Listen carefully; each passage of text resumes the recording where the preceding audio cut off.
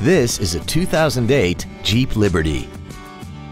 This SUV has an automatic transmission, a six-cylinder engine, and the added safety and control of four-wheel drive. Its top features include commercial-free satellite radio, traction control and stability control systems, aluminum wheels, and a tire pressure monitoring system. The following features are also included air conditioning, a pass-through rear seat, cruise control, an illuminated driver's side vanity mirror, side impact airbags, rear seat child-proof door locks, full power accessories, four-wheel disc brakes with ABS, a keyless entry system, and this vehicle has less than 42,000 miles. Stop by today and test drive this vehicle for yourself.